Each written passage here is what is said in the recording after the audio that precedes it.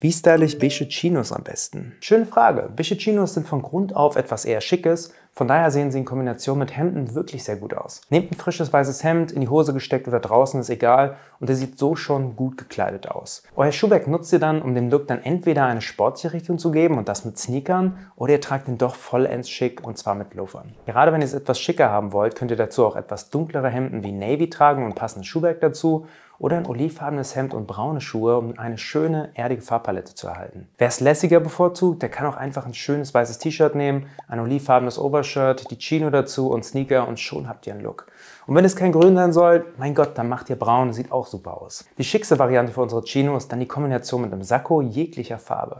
Entweder ganz klassisch mit einem dunkelblauen Sakko und weißem Hemd oder als wärmere Variante mit Rollkragen und Chelsea Boots. Aber auch hier sieht die Kombination mit T-Shirt wirklich gut aus.